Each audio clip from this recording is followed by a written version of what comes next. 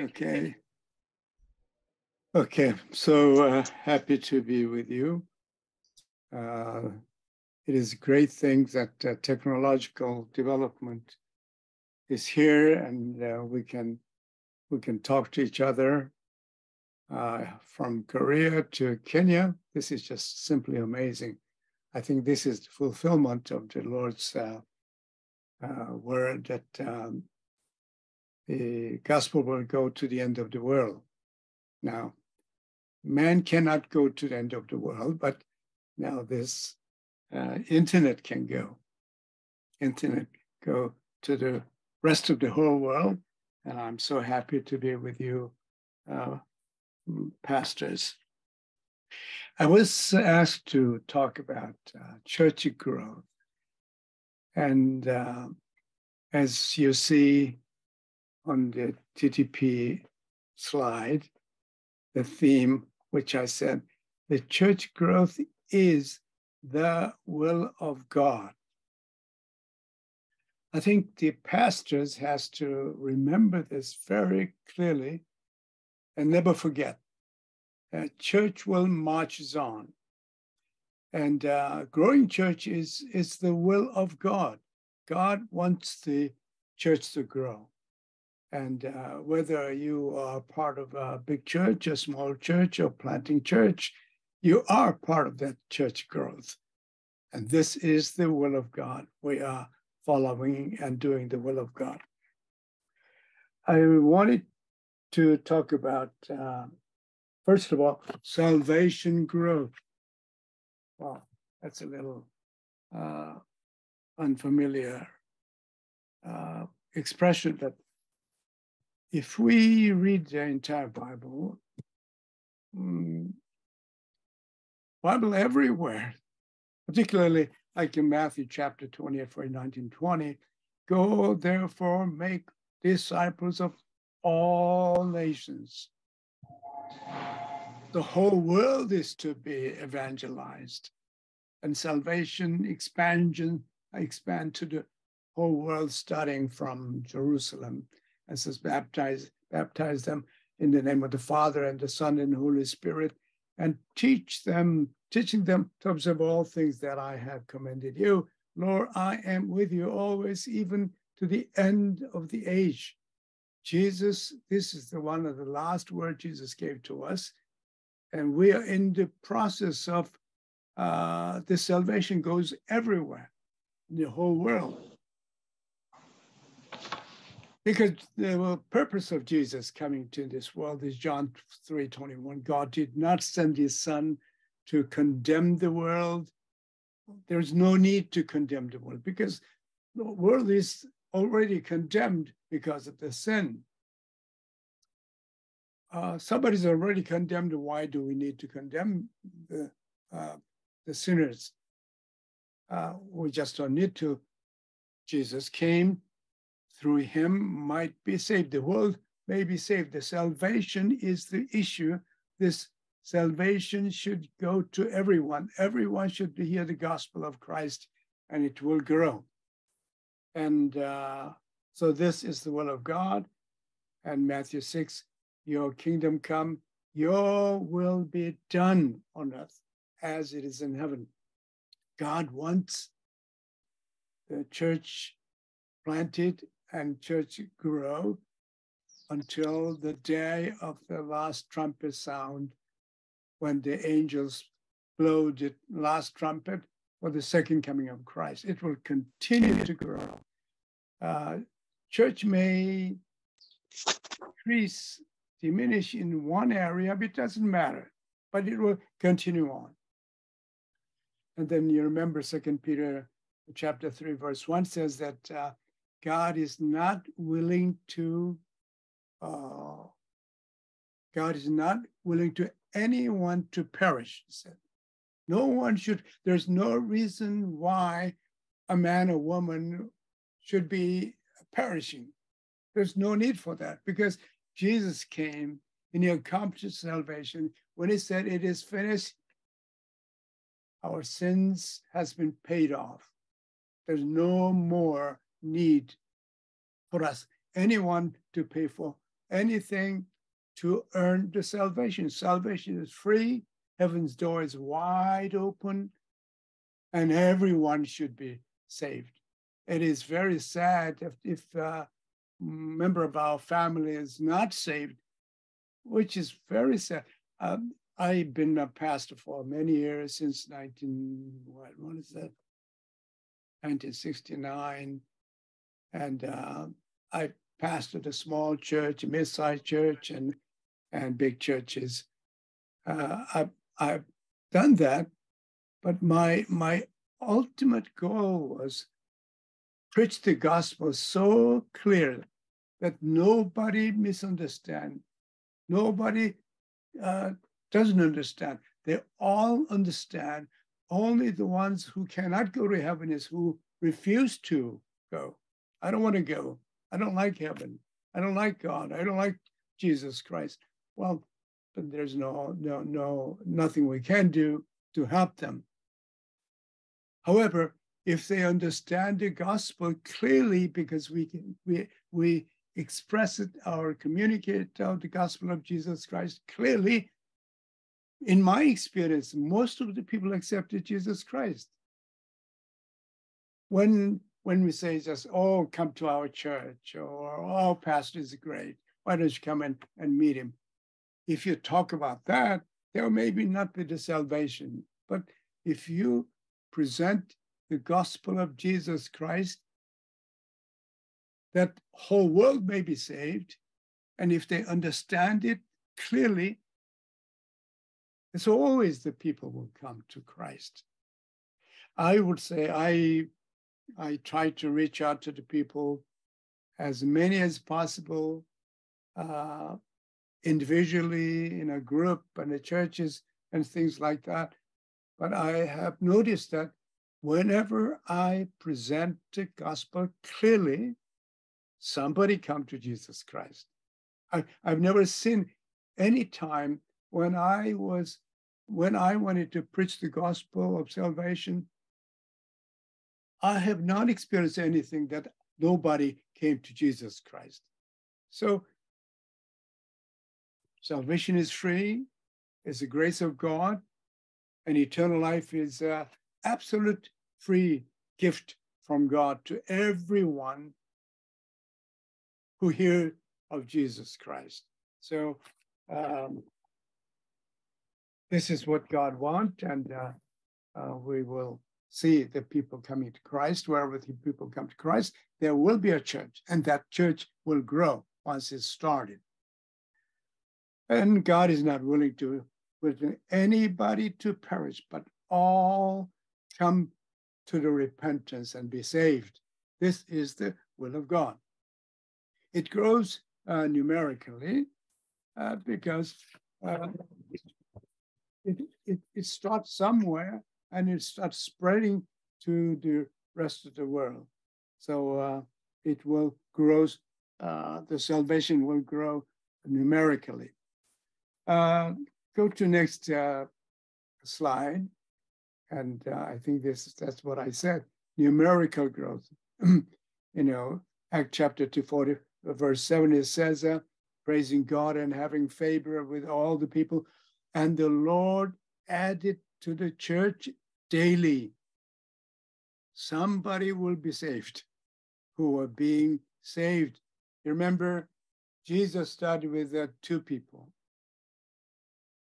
Simon Peter and James, uh, Andrew. Peter and Andrew, the first disciple was only two. And they introduced to, then Jesus reached out to James and, James and John's. Two became four and became 12. And then we read a record of Jesus sending 72 people two by two to preach the gospel and he healed the sick. So church is growing numerically. And then we see 120 people in an upper room. And then 500 people watched Jesus ascending into heaven. And we know that uh, uh, the 3,000 people were saved when St. Peter uh, preached the gospel. And then uh, we also read about uh, 4,000 people are fed by Jesus Christ. And then he said that I am the bread of life, he said. Hmm. If you eat this bread, you will be hungry again. If you drink this water, you will be thirsty again. But if you drink of me, you shall live forever. So as you can see, 2, 4, 12, 72, 120, 50, 3,000, 4,000 now into whole world. Now, one third of the entire human population at least claim to be Christian. Right, quite interesting. Church grows. It's, this is the will of God, and uh, this will be true with us and our ministries as well. And then not only numerical growth, but uh, there's a geographical growth as well. Acts 1 8, you'll receive the power of the when the Holy Spirit come on you. You will be my witnesses in Jerusalem. You start where you are. And then you go to Judea and Samaria and to the end of the earth. Yes, we, we are reaching out to the end of the world, is called the missions, world missions. So it's spread where you are, and then gradually wider and wider and wider as your church grow. You get involved with the world missions. You send your uh, missionaries out there and plant a church and preach the gospel. Geographically, it will grow. Yeah. So it will start with the salvation, but salvation is merely the start. Numerically, as well as geographically, but once you are saved, you have a spiritual growth. When you are first a Christian, when someone accepts Jesus Christ, he's just born again. Even if he's a 50 years old man come to Jesus Christ, he's only one day old. He has to grow spiritually. He may be famous movie star, but he will, he's only one day old and you have to help him to grow. His spiritual growth is the next step to salvation. Salvation is, uh, I would say, salvation is the easiest. It was the hardest for God, hardest for Jesus Christ. But uh, salvation is so free that anybody can be saved. All you can say is after you hear the gospel of Christ and about Jesus Christ and his, his death and burial and resurrection accomplished the eternal life, you know, then all you can say is thank you. That's all we human beings can say for salvation. It's a free. The day we meet Jesus Christ and hear the gospel and invited Christ into our heart as our personal Savior and the Lord, then we are born again. It is very important that uh, every person, whether individually or as a group, they hear the gospel. They have, they have to understand the gospel clearly, what Christ has done for them. And then they are born and they are born again. Not everyone is born again. This is the problem of the church. Uh, recently, not only during the uh, pandemic uh, uh, years, last three years, and uh, the churches could not meet in the church. And now, some of the people left the church, they say, and don't come back. Well, there's no such a thing. You may change from one church to another church. That is possible, but no born again Christian cannot leave his family because he's born again. He's born. Now, uh, uh, you know, my parents um, uh, are very much blessed and they had uh, nine children. Hmm. and uh, five boys and four girls. And uh, nine of us siblings, we are family. You know, you cannot deny that uh, we are the members of family. And even if you leave home or you deny your parents, your siblings, you're still my family because you're born of my parents, same parents. Same way, if you're born of God through Jesus Christ, God gave you eternal life and you received it, and Christ is your personal Savior, you are born again. But you may be in the church. You may be going to the church. You may sing hymns to church. You may dance in the church. But if you have not actually, personally accepted Christ and trusted in Jesus Christ as your personal Savior, you may be churchgoer or worship attendant, a member of the church, but you are not born again yet. This you have to understand, particularly pastors should understand that.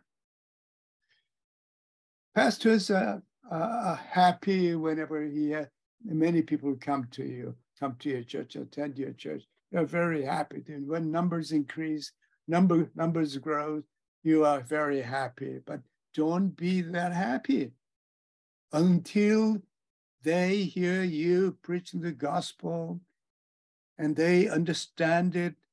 They meet face to face with Jesus Christ and accept him as their personal savior and the Lord until they receive salvation and born again, they are not the families of God yet. Even if they are there, right there with you, you know. Uh, I was born in a Christian home and grew up uh, in, a, in, a, Christian family, and I went to church all my life. And I attended uh, Sunday school, memorized a lot of verses, and I knew a lot of hymns, and uh, I never missed the church. But you know, to confess to you, I did not understand the gospel of Jesus Christ. I heard about Jesus, I called Jesus, I sang about Jesus, me and Jesus Christ relationship, I didn't know. I didn't quite understand because I was just member of the church. But I thank God when I was uh, 25 years old, for the first time, I understood the gospel. First time I understood the gospel of Jesus Christ, what God has done for me through Christ. And I saw my, my eyes open, my ears open, my mind's open. And I trusted Jesus Christ as my personal savior. Not, well, he is the savior of the world. But what is that for me? Savior of the world. My Savior, that's the important thing. He is the Savior of the world, but more importantly, my personal Savior. And I became, I, I, I feel I was born again when I was at the age of 25. This is important. And Pastor may like to see a lot of people coming to, a lot of people come, a lot of people to be saved. They must be born again into God's family. This is one of our greatest tasks because Jesus came to save the sinners. Jesus came to save his people from their sin. So salvation must be clearly understood. Salvation is the, each one of them, every one of them, even your family. You may be, you may have about three or four children of yours as a pastor. But that doesn't mean they are spiritual members of the family.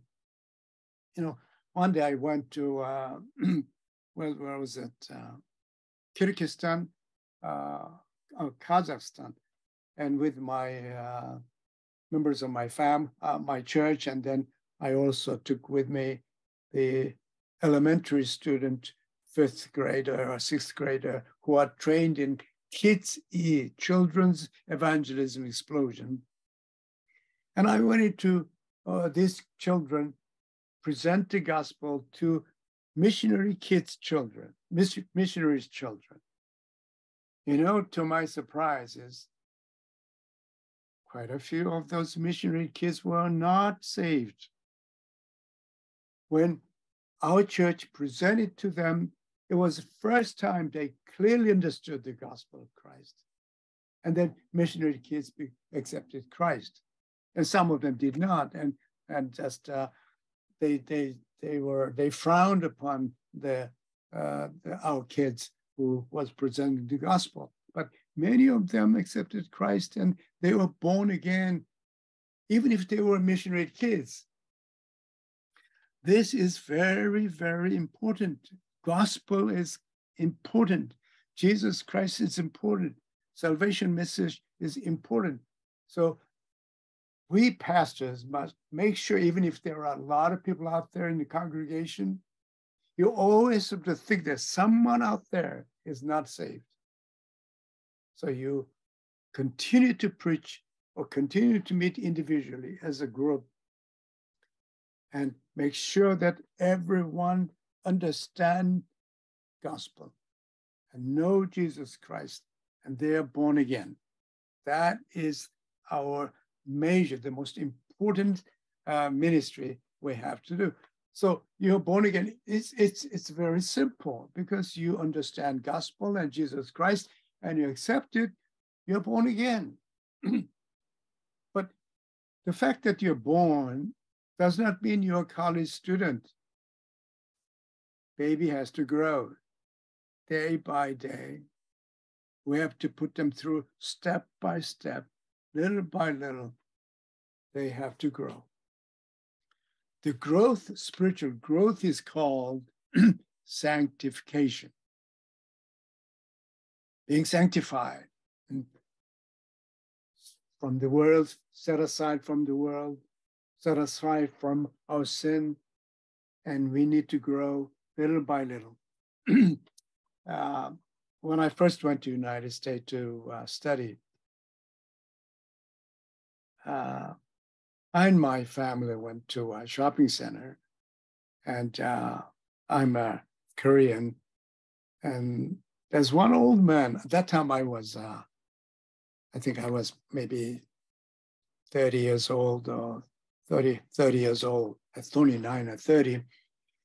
And uh, one American old man with white hair at uh, shopping center, they saw me and they approached me. He approached me and he says, uh, Are you a Christian? Yes. So I knew what he was asking. So I said, Yes, sir, I am a Christian. Then he says, Are you a born again Christian? Wow. I really appreciate it very much. Are you a born again Christian? He says, says, Yes, sir. I am a born again Christian. I have Jesus Christ in my heart. I was able to say that because I had that experience of personally trusting Jesus Christ for my salvation. You know. So you're born and you need to grow you grow spiritually, that is internally. Inside of you start growing. You eat and drink and and you sleep and rest and uh, you uh, are loved by your parents and so on and so forth and you start growing. This is is the uh, next step after salvation. Salvation is very simple and sometimes a moment or two or one day even if sometimes some people don't know when they are saved, but they have a clear confession of faith on salvation.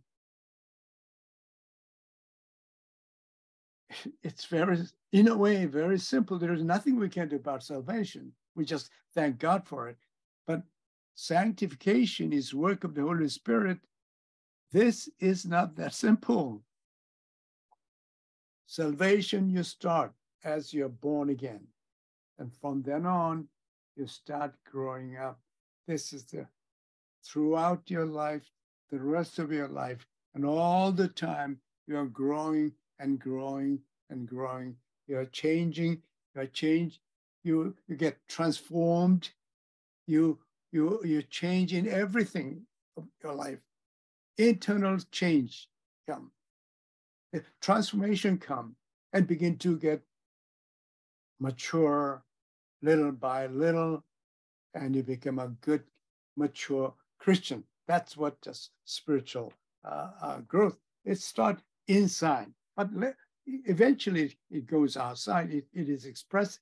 People can see you, not only your change, your transformation, but also they can see your work as well. So spiritual growth is in, in the uh, internal growth. Now, there are two aspects of growth. One is, I call it negative growth. I don't know if this is right expression or not, but uh, negative growth, what I mean by that is that, you know, like First Peter chapter 2, verse 1, laying aside all malice, all deceit, and all the evil things. There is a hundred of different sins we have and we have to put aside that dimension, evil dimension, is eliminated one by one. In that sense, negative growth. So once one in one sense, the old man dies and new man grows. Old uh, sinful qualities sinful dimensions and thoughts and words and behaviors and attitude removed. And then new positive growth has to take place. And we have to, pastors have to make sure that our ministries to do this. And when you begin to see that happen to your people, you are excited. You are so happy that you are uh, a pastor. You are called you know, to pastor a church. So positive past the growth, Galatians 2, 22, 3. But the fruit of the Spirit, this begin to show in life. Love, joy, peace, forbearance, kindness, goodness, fullness, gentleness, and self-control. It says that it's a nine fruit of the Spirit, but actually, if you study carefully, if you study entire Bible about the spiritual growth, it's not just nine spiritual growth. I just I discovered there's a 49 qualities, 49 spiritual qualities of sanctification, positive growth. Your thoughts, you start with your thoughts, and then you, also change your words. And then you change you are changing emotionally and you are changed uh, intellectually. And uh, you are changing mm, you know relationally and your character changes your habit changes. There's so many things to change this is the this is the agony we have. But how Holy Spirit will begin to work in you and you continue to grow. So I call this uh, spiritual growth, uh, positive growth. Uh, in order for us to positively grow, what, what should we do? Daily walk with Jesus. Daily walk with Jesus. When we invite Jesus Christ, Jesus come into our heart. That moment, Holy Spirit comes in within me. Unless Holy Spirit work in my life, my hearts, my mind, and mm, to me, I won't accept Jesus Christ. Without Holy Spirit, without the Spirit, we cannot change. We cannot accept Christ. Holy Spirit work on you, then you open your heart and mind and, and, and uh, your mouth and you accept Jesus Christ. So that time on, Jesus is in you. I in you and you in me, Jesus said. Then I also will send uh, another another comforter to you, and he will come and he will uh, be in you, he will dwell in you. So Jesus Christ and Holy Spirit are in our hearts. Jesus said, I will never leave you, forsake you. I will never leave you, forsake you. He will be with you forever, Jesus said. So once you become a Christian, you know, once uh, someone become Christian, then he start walking with Jesus Christ. But in order for him to grow spiritually, he has to walk with Jesus every day. Now, sometimes we call this uh, uh, quiet time. You start uh, with Jesus, you end with Jesus. When you wake up, you have time talking to him, listening to him, and then you, your, your a daily life, whatever you do, you talk to God, you talk to Holy Spirit, you talk to Jesus. Just your life is life, entirety of your life is the spiritual growth, the, the spiritual life that is. And Jesus is called the truth. I am the truth. And uh, no man cometh unto the Father but by me. And often I wondered about that passage, John 14, uh, 6. And I begin to meditate on that. Uh, no man cometh unto the Father but by me.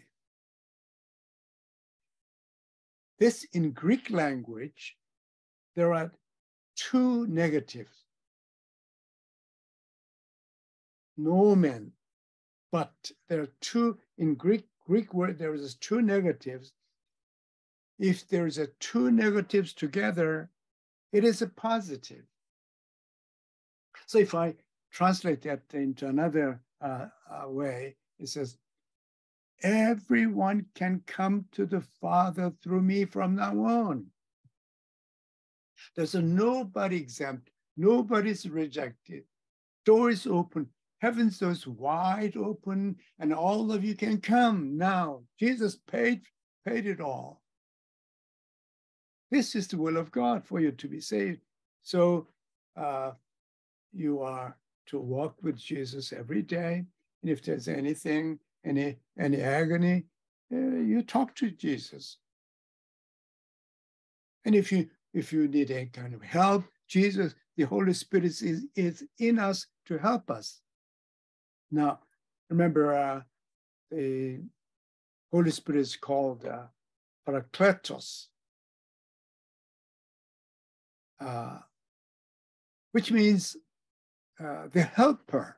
I think uh, New New International Version translated well. He is the, the helper. Why is he called helper? Because we need help. We still have sin nature. We still struggle. We are a limited person. There are things we cannot do.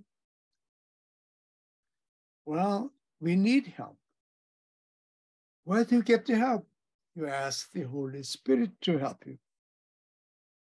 You know, these days, um, I uh, it's just short prayer, but I pray a lot uh, because my my wife, my wife forgot. Uh, she's been healthy all along, all, all her life, but uh, last year she began to develop something. I didn't know what it was, and and uh, finally uh, we found out that it was a Parkinson's disease. Parkinson's disease is a, gener- a degenerative uh, illness, and it, it never get better. It get worse and worse as days go by. Parkinson's disease get better, worse and worse and worse, and then you cannot walk, and just all physical function is deteriorating. And uh, I live with my wife. And I tried to help her. And it was uh, very, very difficult. Uh, you know, in your ministry, you've been ministering to the world and whole world and so many nations. Probably I, I tried to serve. I don't know how many countries I've been to, probably 60, 70 countries in the world, you know, world evangelism. Well, I lived in the United States and, and I thought about uh, Korean immigrant churches and I worked, I did my best, traveling all over the place to help the Korean immigrant churches. And I came back to Korea and I was everywhere and uh, I worked hard and just going everywhere. So worldwide, United States and Korean churches, and now we want to help this North and South be unified. And this is a major work, and I, I've tried to help North Korea as much as possible to get an opportunity to uh, preach the gospel of Jesus Christ, which was not possible in North Korea. Now, I've been a professor at uh, Theological University. I've been pastor, and I served uh, Asia uh, as chairman of the Asian Evangelical Alliance and Asian Theological uh, Association, Theological World, as well as uh, uh, Church World. And I had I had privilege to serve World Evangelical Alliance as chairman as well. Well, Ministry seems to be expanding and really grow. But now it's no more. Now, just one person, one woman who is ill cannot recover. And I'm alone, and I have to now that pastor became a uh, cook for my wife. I became a nurse to take care of. And I've never done that before. I was always with the people. Here's, here's now, I'm just alone with my wife and try to help. Wow, that was not easy. That was more difficult, more challenge than pastor of a church, a professor of theology, a president of us our university. It's much, much tougher. Just one woman to care for one person. And I, I begin to feel that uh, I, I just could not handle this situation. I, I didn't know what to do. So I prayed to the, I prayed to the Lord and Lord, help me my patience is running out. My energy is running out. My mind is running out. And I have to help this wife of mine. You give to me. Please help me this, help me that. I just short prayers, but I've been praying a lot to receive help from the Spirit. Sometimes I, I, I get so tired, I don't know what to do. But if I when I pray I can feel that Holy Spirit give me that strength. When I pray, I begin to feel the, the patience will coming back. Well, why did God send Holy Spirit in our heart? Because we need help. We are limited person.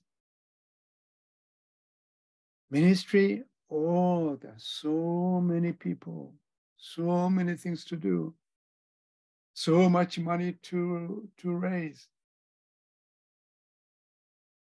We need help.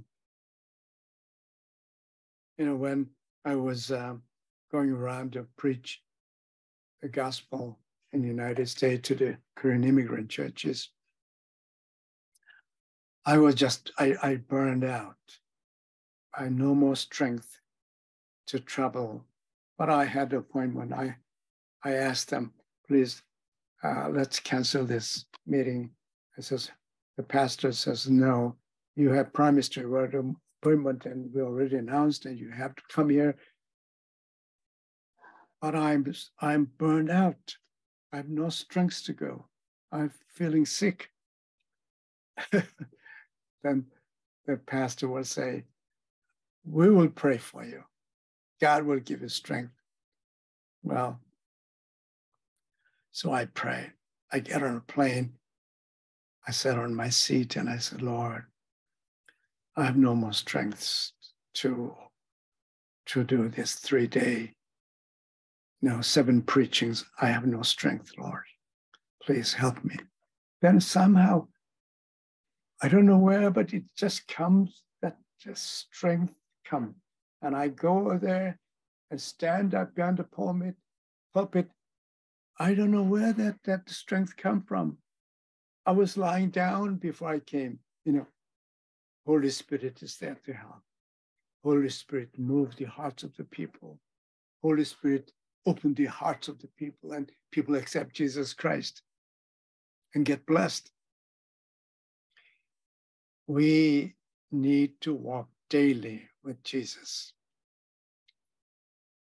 And he walks with me and he talks with me and he tells me I'm of, his own. Nobody knows our joy of walking daily, deeply with Jesus Christ and with the Holy Spirit. As we do so, as we do so, our spirit grows spiritually we grow as we walk. So Apostle Paul also said, Galatians 2.20, I've been crucified with Jesus Christ. I no longer live, but Christ lives in me. The life I know lives in the body. I live by faith in the Son of God who loved me and gave himself for me. No longer me, Jesus in me, Holy Spirit, me I and Jesus walk together through the spiritual strength Jesus provide to us. Well, sanctification start with daily walk with Jesus Christ. Now, this sanctification is daily walk, but this is a progressive sanctification progressive sanctification means we grow little by little, continuously. When you're born again, you start growing spiritually. Little by little, you read the Bible, you worship, you pray, and and little by little, you know more and more about Jesus Christ and the Bible. We will be sanctified. We will be sanctified by the word of God. Jesus said, in his prayer, John 17, 17, Jesus said, Sanctify them through thy word. Thy word is the truth, it says. You have to have truth to be sanctified. Without truth, there's no sanctification. What is truth? Jesus gave us definition of the truth. I am the truth unless we have Jesus, there's no spiritual growth. Unless we know the word of God, Jesus said, sanctify them through thy word. Thy word is the truth. Jesus is truth, and uh, word of God is truth. More we know Jesus personally, more we know the word of God, we will be sanctified. We will change, but it we don't just uh, grow quickly and one time and just uh, drastically. There's no such a thing. No baby who is born grows just go to go to kindergarten and elementary school or junior, senior high, or college. Nobody does that. They have to go through the process of the growth, same way. Spiritually, exactly the same way we know Jesus closely, walk with Him daily, and more and more we know the Word of God more and more, then we grow continuously. Second Peter 3:18 says, grow in grace. It says, grow in grace and knowledge of our Lord Jesus Christ. To him the glory both and glory both and forever.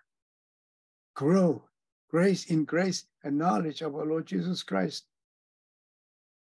We don't become college immediately.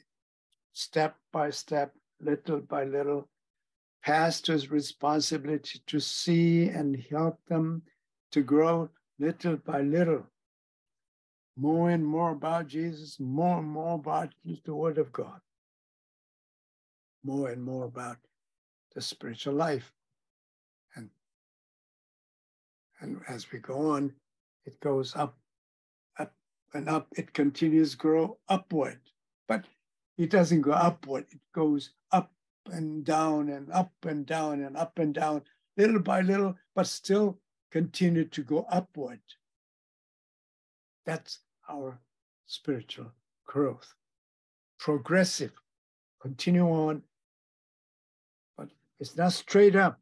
Some people think that uh, if you have some kind of a drastic spiritual experience, then you are, you really have it all. No, you don't. What you have is just dynamic spiritual experience. That will help you a little bit of growth, but it doesn't mean you are you have everything. You are you are you are completely sanctified. No such a thing. If you are a little down today, don't worry about it. You will go up because we have Christ, we have the Word of God, we have the Holy Spirit, we have prayer, we will grow, but gradually upward, little by little.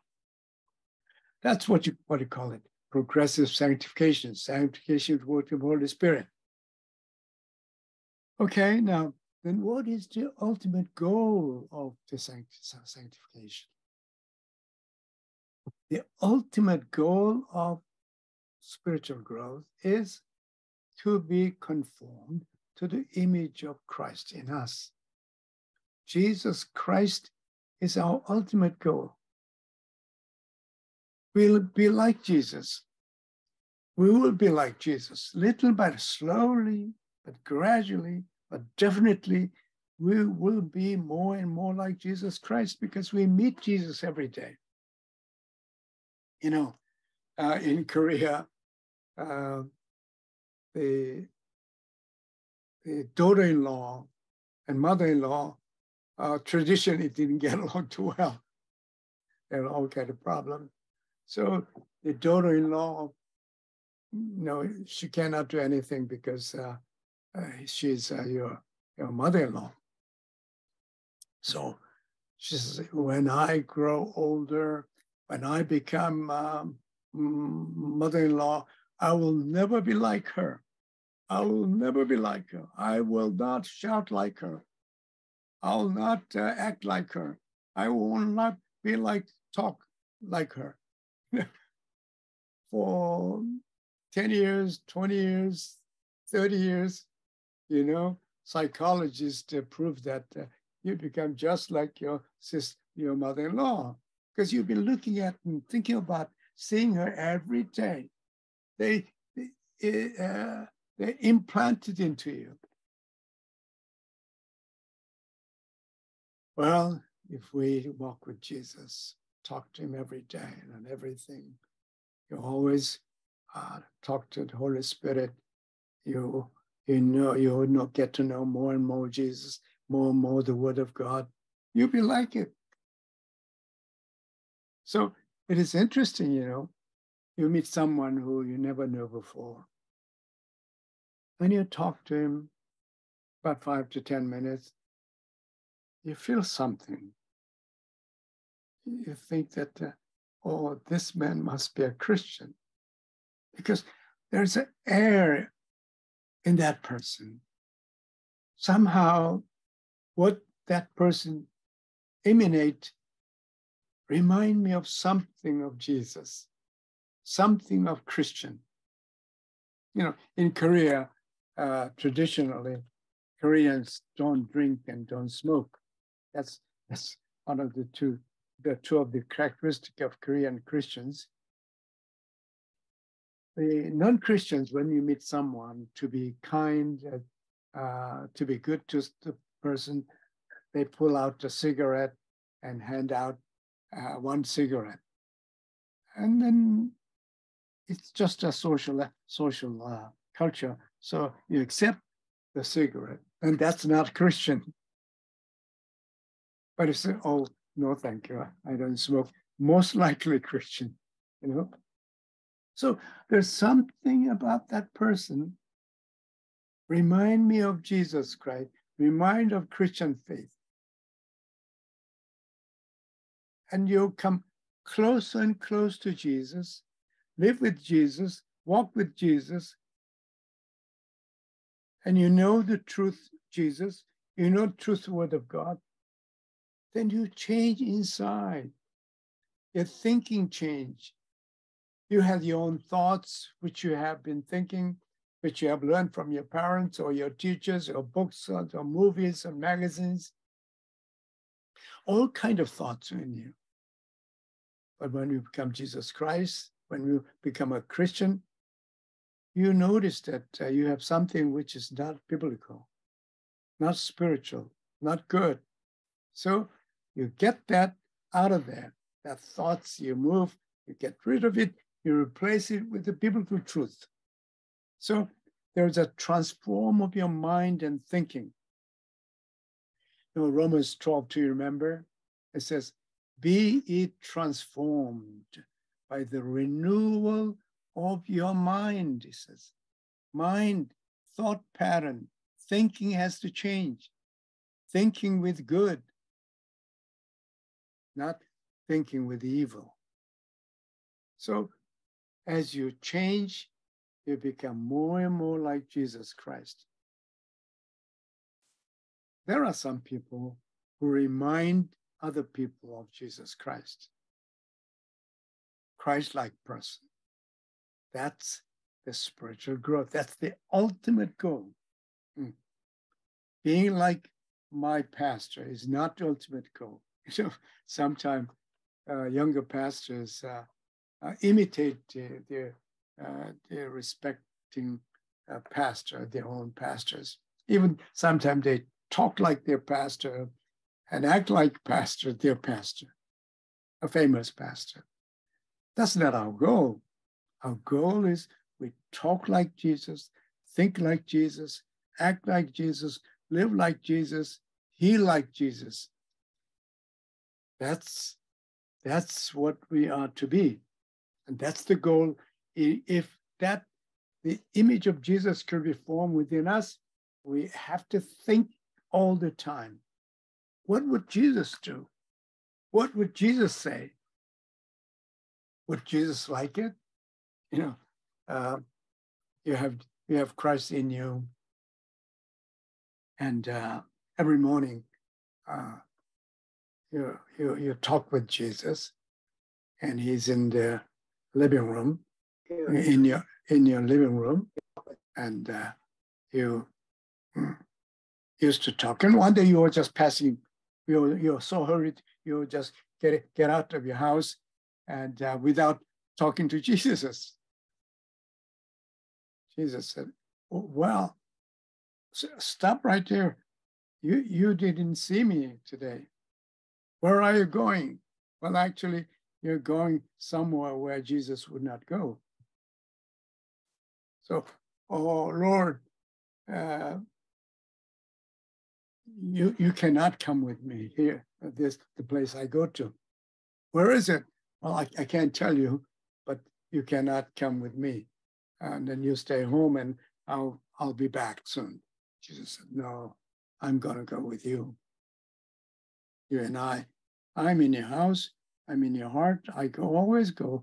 Wherever you go, I go always go. Well, yeah, if if that's the case, I'm not gonna go. We walk Jesus. Ultimately, because we've been together all the time and all the time with the word. Our thought, our words, our thinking, our mind, our attitude, our emotions, our habits, our character will change, transformed, sanctified. Now, Romans 8 29. So, also, those God foreknew, he also predestined to be conformed to the image of his son.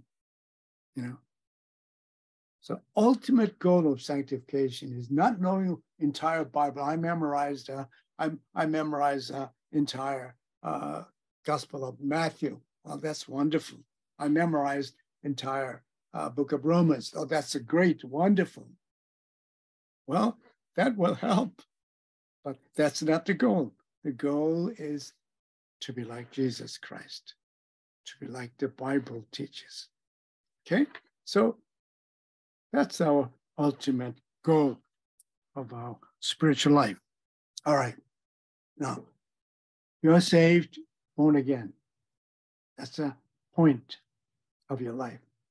But spiritual growth is just continue on progressively, little by little, up and down, and still going upward, up, but walking with Jesus and knowing the Word of God, which is the tool of sanctification, the Holy Spirit, and through prayers and worship and praises, we constantly change.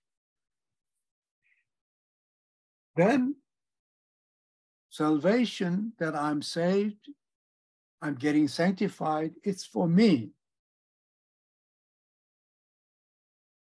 Christian faith is not for me just to be saved and get sanctified and finish and, and the end of it.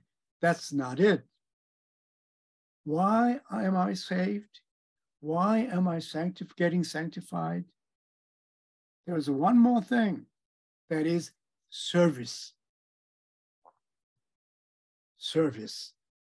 Salvation, sanctification, and service. Three aspects. It all start with S, right? Salvation, S, sanctification, S, service, S. I call this three S theology. Three S theology. Basically, ministry is three S salvation, preach the gospel. You know, Jesus, Jesus, he was uh, going around uh, all the villages. What did he do? He was teaching, preaching, and healing. Three things, threefold ministry of Jesus Christ. He preached the word of God so that they become children of God. And then they teach them to sanctified. And then, as a result of that, they have grown. Now they become college student, they have college graduate. Now they become adult spiritually. Now they can serve. They do work. Hmm. To Jesus, it was healing work, not only healing, but hundred different things he did. But Matthew chapter 4, verse 23 says, preaching, teaching, and healing. Preaching is teaching for me. Healing is others. Jesus healed the sick and uh, uh, kicked the demon out of the people and raise the dead. That's, that's the third aspect. People who know Jesus and know the Word of God and grow and become mature and they become servant. They serve others. You serve God, you serve the church, you serve your family, you serve your neighbors, and you serve whole world. That's what you call world evangelism, world missions. We are to serve, humbly serve, gratefully serve God and church and our family and, and uh, our neighbors as well as the whole world. This is what we do. So, what do you do in service? Jesus says, Jesus healed the sick, all kind of sickness. Now, how is man sick? Man is sick from the top of the head to the sole of the foot. There's nothing is sound, nothing is health. Your head, your eyes see evil things. You speak mouth out of mouth. It's like a tomb. Your neck is stiff and uh, and resistant in your hand to all kind of evil things. And your heart is already uh, uh, hardened. And you walk where you go, where you, you shouldn't go, from the top of the head to the sole of the foot, there's no place that is sound. All sick, need healing. Your soul need healing through salvation in Jesus Christ. Your mind need healing. Your thinking, your thought pattern, uh, your your ideology, your your your your values need to be changed through the scripture, which is the truth. We need to change little by little everything we have to change so that we become good adult, strong adult, with a sound mind, sound body, sound spirit, and mature person. If anybody meet us, they receive some kind of help. If a troubled person meet a pastor, mature pastor, quickly receive peace through the conversation or through prayers, through the word of God. Hmm. So there is a many area of service. This is called Jesus.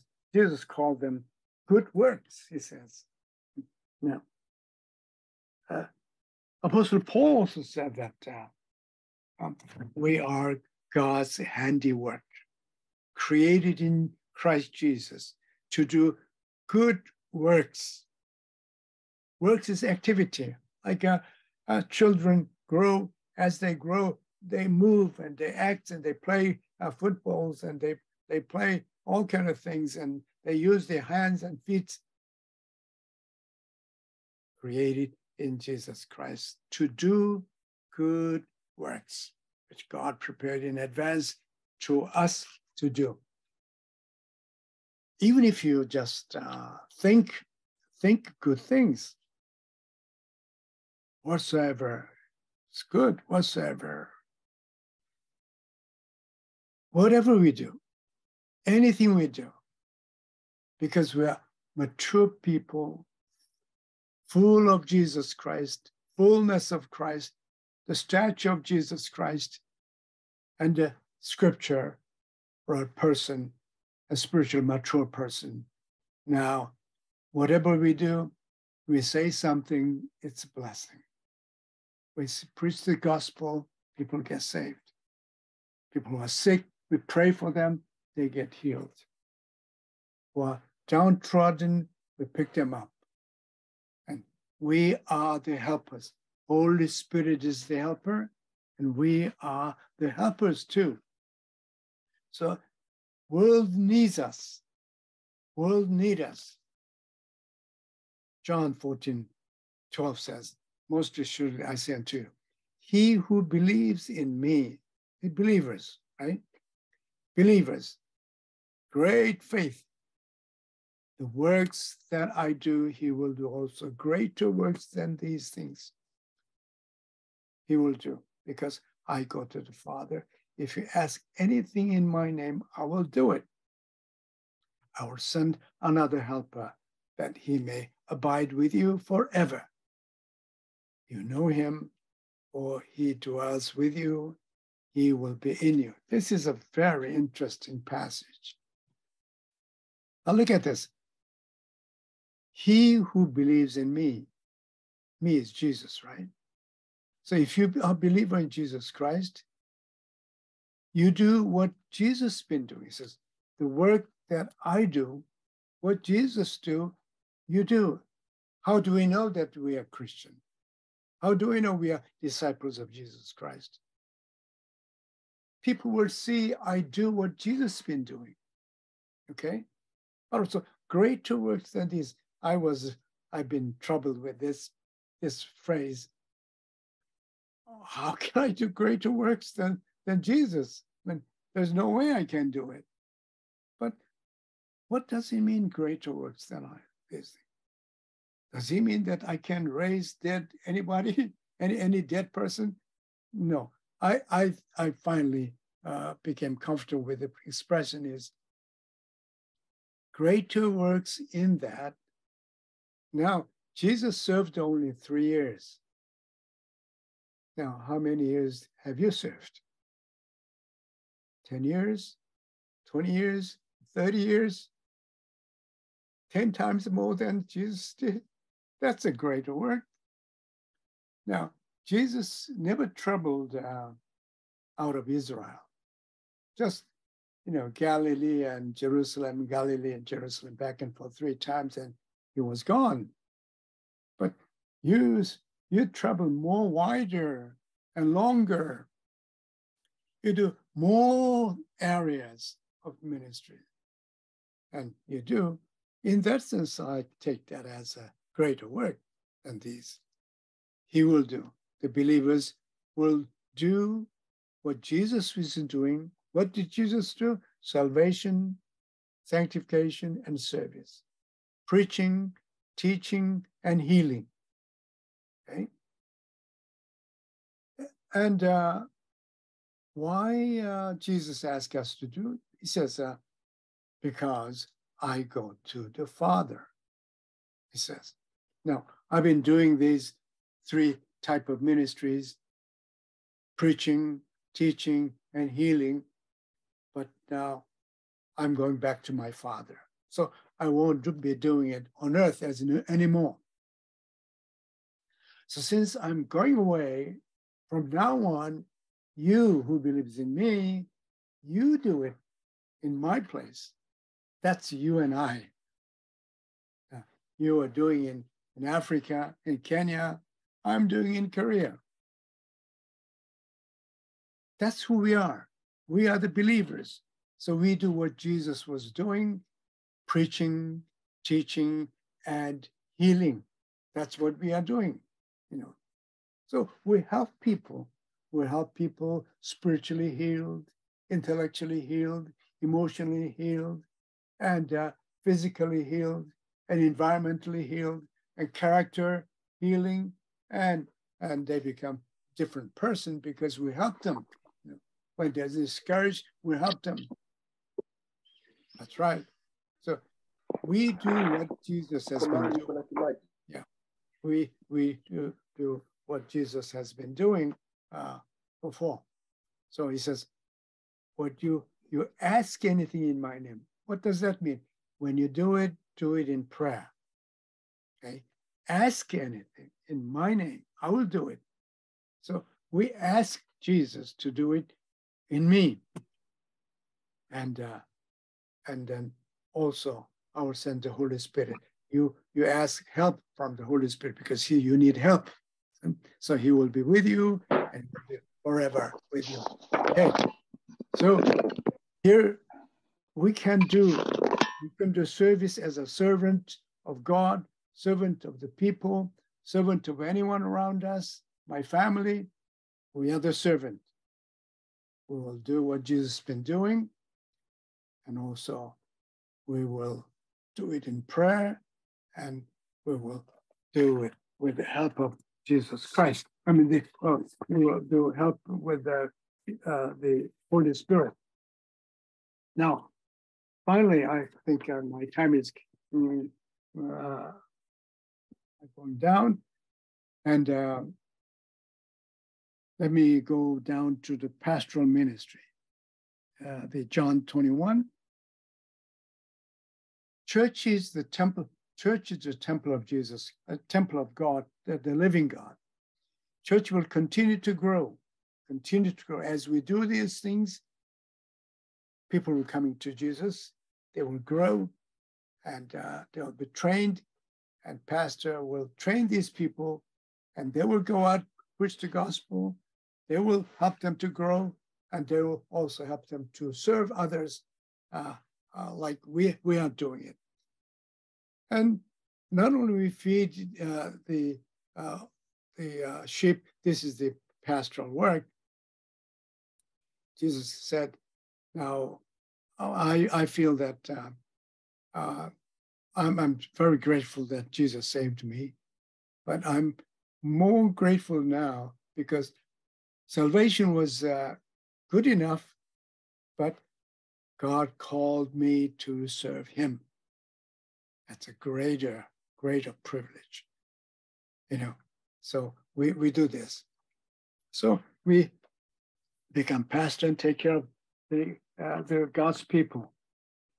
And now, pastor, the church growth grows or decreases depending upon the pastor. Pastor has the strong sense of call as a pastor to do the pastoral work. Strong sense of missions, what to do. Call, call as well as ministry. Sense of call, sense of ministry. We need this, and the church will rise and fall with the leaders.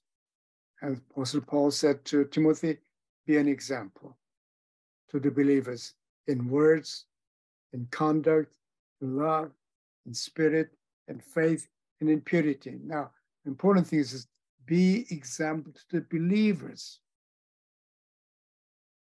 Non-Christians, we are example.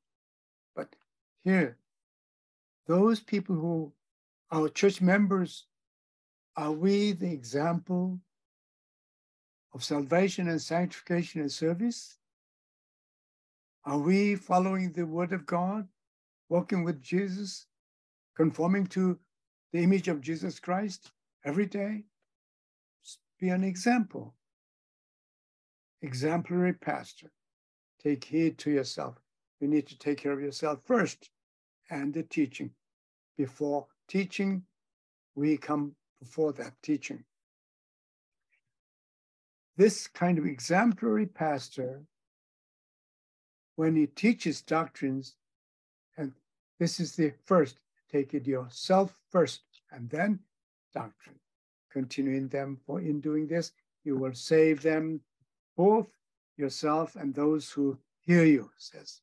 Now, I wish all of you become a pastor who listen to you, who listen to you, get saved and sanctified and become a good servant because you train them, you show them example and how to do it, and so forth.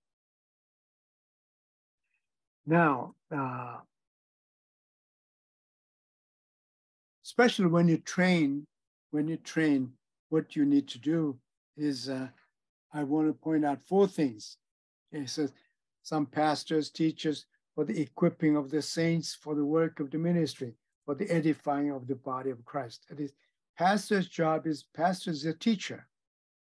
We are trained by the professors, but people are trained by us, pastors and teachers. And you equip them, you train them. To do what? To do the work of ministry. The lay people and us, we do the work of ministry together to edifying the body of Christ body of Christ, the church. Church need to build up. Uh, the church is the temple of the living God, and church is getting completed day by day. Continue to grow. Grow in Africa, grow in South America, uh, grow in Asia, particularly now, and then anywhere around the world. Churches continue to grow.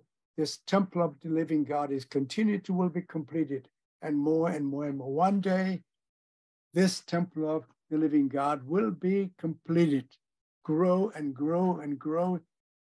Finally completed. That's the day Jesus will come as second coming of Jesus Christ. Now, what do you train? I want to just mention four things. Now, would you give me a, a one, the last uh, slides? Pace.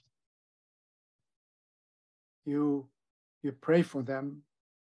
You give your time available. You are the first to contact them. You know what, what's going on. You don't wait until they tell you. You call them and keep the information, and then you set the example.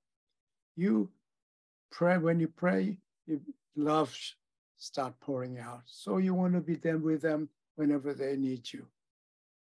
And then you constantly, by emails and phone calls and visiting, you are in contact and you know what goes on in the life of your, your people. And you set the example. You love God, you love church, you love prayer, and you love to serve. You're a good example. We train people to be like this, and I do this, and the people do with me. Together, the church will grow and grow, and the temple of God will be completed. And trumpet will sound, and we will go, we will go to heaven. Church will grow with such a pastor. Well, my time passed so fast. Now, I have only a few minutes, and uh, uh, if you have any questions, I would like to hear from you. If anybody like to ask any questions or say what you feel, what you feel after you heard me, uh, my lecture. Any thoughts on you? Um, actually, there's a questions um, in the chat box. Um, the first one. Mm-hmm. So, is financial growth the most effective parameter to measure the growth of the church? Mm-hmm. Generalize the performance of all other like geographical, numerical, and spiritual. okay, financial growth. that is true. I mean, if um, more people get saved, they, in Korea, uh, we tithe 10% of our offerings we give with Thanksgiving offerings, all kinds of offerings we give. And uh, I think that's a good, good, good way of saying that. The more people, more tithe, naturally. You know, there was one day, uh, uh, my assistant, I had, when I started a church in, they planted a church, I had only one uh, assistant pastor. And uh, I sent him out to be trained for evangelism uh, uh, explosion. And one week later, he came back and he got so excited that when he presented the gospel, people got saved. So he told, was telling me excited, oh my, you know, this and that. I'm really ready to go. So, okay. Now, next next one year, you reach 10 families. Now I give you know, one family, one family a, month. That's not a big job. One family a month. So 12 month, but I give you two month uh, uh, uh, leftover, just 10 families. He says, now, when I said that, if he reaches 10 families, 10 families will come to church one year. You know what? That 10 family will pay his salary. The assistant, assistant pastor's salary. Why? 10 people are trained and 10 families are. They, they, they give offerings. So church is the best uh, best best ma- uh, measure of the national finance. Nation is doing well. Next month, next Sunday, there will be more offerings. Nation is bad financially. Church offerings you know, drop. So I think, I don't know who said that, but I, I like that. That is just natural result of the church growth. Yes. Um, another question here. In order to achieve church planting movement, mm-hmm. factors in process or cycle that needs to be implement, implemented? Oh, I, I, I didn't get the question yet. Yeah. So, um, yeah, that's what it says. So in, say it again, please. So, in order to achieve mm-hmm. church planting movement, mm-hmm what factors and process or cycle that needs okay. to be implemented? Okay, I um, I I try. I planted one church. Uh, I met uh, about thirty people, and uh, was talking to them, and I found out that half of them are saved, and half them was not. They were just churchgoers you try to work with churchgoer, nothing much work, nothing happens. So I wanted to make sure that all 30 people are saved. So I preached the gospel very, very clearly.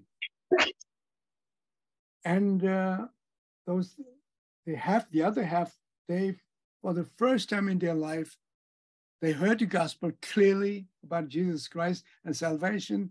They all accepted Christ. So I had almost 30 people completely saved and born again. Wow, I said. So I got them together on Wednesday night. And usually they have, we Korean church have Wednesday night service. But I didn't want to have Wednesday service, the same thing, uh, Sunday service and Wednesday, same, same thing. So I says, no, I will train these people, 30 people. If I train these 30 people, they will be the evangelists, they will be the workers. So I started with them two hours uh, every, every Wednesday from 8 to 10. And I began the basics of Christian faith. I started with salvation, the Bible, the eternal life, and prayer, and uh, and heaven, uh, and earth, uh, heaven, eternal life in heaven, the second coming of Christ, those things, the basic, basic doctrines of Christian faith. I trained eight months, detailed. I really drilled these things into them. They were very, very excited because they never had such a systematic teachings uh, in their life. This is first time ever so eight months, I trained basic Christian faith with the 30 people. I tried to get them ready to work for the Lord, you know, the service. So sanct- salvation and sanctification I worked on for eight months. And then last four months, I trained them with the gospel of Jesus Christ, evangelism, how to witness, how to give the gospel. So whole year, first year, I concentrated on these 30 people, built them up with basic Christian faith. And they were excited. More they knew, more they got excited, then more strengthened. And then last four months with evangelism. So I had four, I had 30 evangelists with me. First year, I was the only one who knew how to witness. But after one year, I've done eight months of basics and four months of evangelism. I have 30 evangelists in my church. So, first year when I baptized someone, he was always the one I led them to Christ. But second year on, you know, these people went out just all over the place and they reach out, they win the souls, and they begin to come to Christ and they begin to come to church, church will really start growing. And I continued, continue, I continued always three things, salvation, sanctification, and service. And if someone doesn't know Christ, I make sure that they, they know. And if they come to Christ, I make sure that they get the train, basic training of Christian faith. and then in the end, evangelism. So I have more and more people like that. So church will just keep on growing. You know, after one year, 30 people became like 150 people. And on and on and on and on. It just continued to grow because I kept this basic structure of three S uh, ministry salvation, sanctification, and service. That's what I did.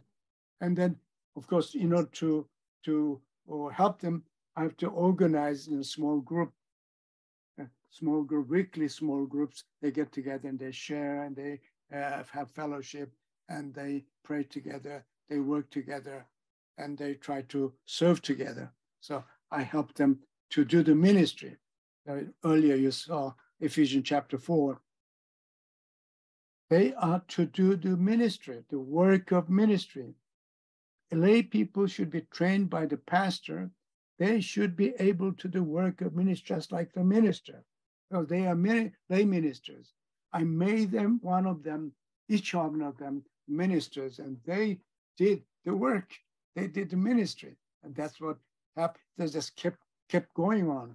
You know, salvation, sanctification, service, one by one, and just kept on growing and growing and growing.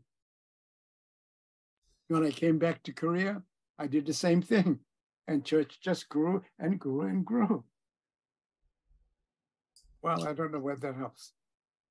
Yeah, another question. A person may be on spiritual journey mm-hmm. because of the faith tradition he or he grew in that did not agree with the faith of Jesus Christ. How can such a person be assisted even before they start teaching others on spiritual growth? Yes, yes, that's the reason why I said you have to have two things truth. Truth make you free. Otherwise, the denomination will hold you, or, or pastors will hold you. I mean, the theology will hold you.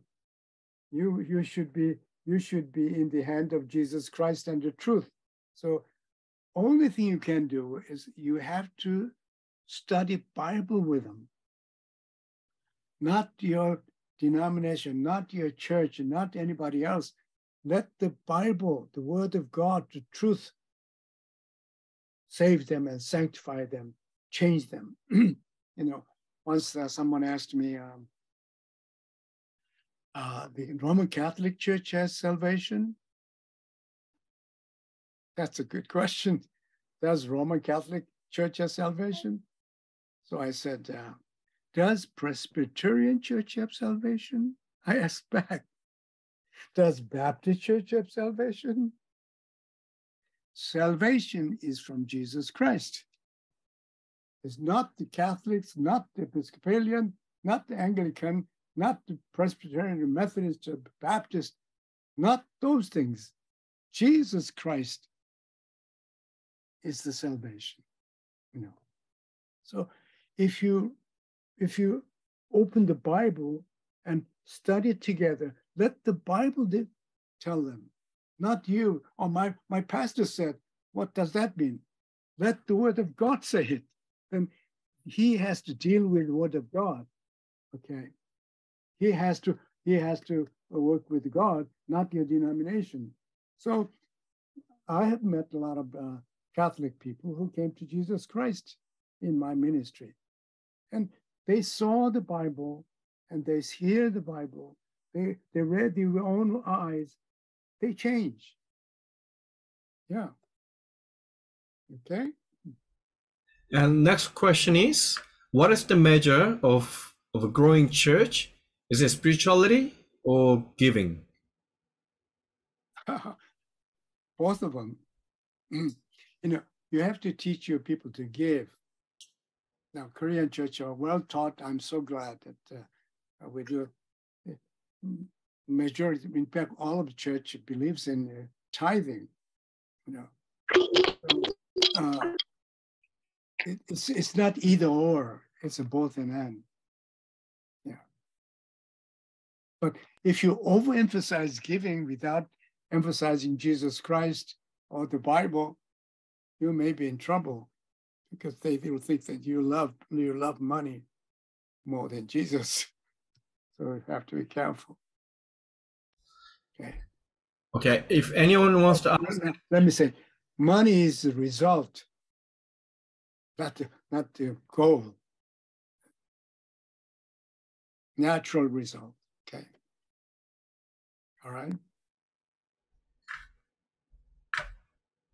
Anyone wants to ask any questions or, or share your comments or thought?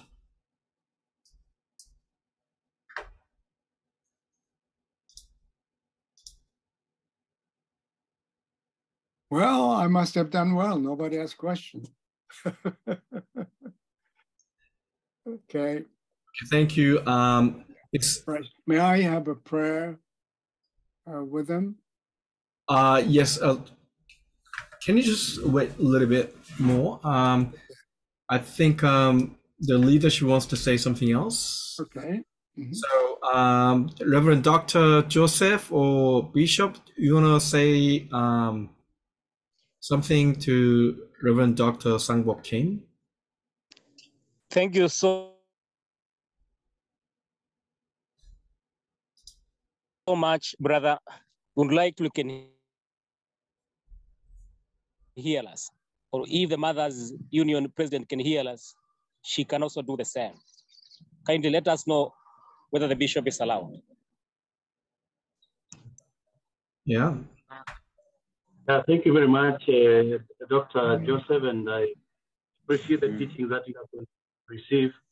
I, I had to go out for a prayer with a family, and so I've just now joined back uh, once the tail end of the the session, but I must appreciate the insights which have been given and how they impact upon our ministry and uh, the testimonies that are given and the sharing is very inspirational. I pray that uh, you become enthusiastic in reaching out to those who are around us. And even as it was explained that even in a simple airplane travel is an opportunity for witnessing. We give glory to God for all these insights and opportunities. I thank you much for every participant. We give glory to God for you. Thank you very much. Thank you. Mm-hmm. Okay, thank you, Bishop. Okay, so um, before you go, um, I'll just give you um, a short announcement before um, uh, Reverend Dr. Sangbok Kim end up the session by prayer. Just a minute.